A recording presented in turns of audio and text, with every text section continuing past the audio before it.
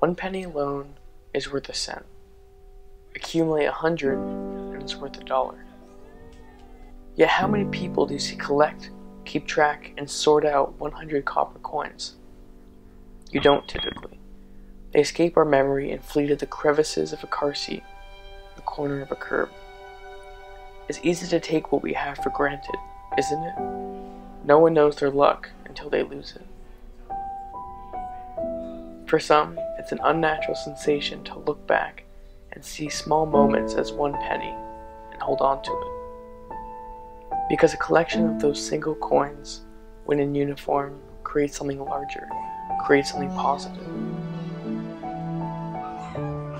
I'm not the one to define one's happiness, but I think about love and the amount of times I'm aware that I've received it, and it's clear that it has become a gift, a sole penny in the crevice of a car seat.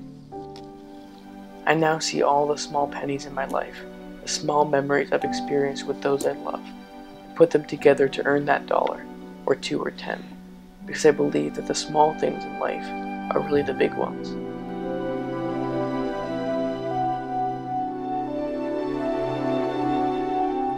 One penny alone is worth a cent. Accumulate hundreds more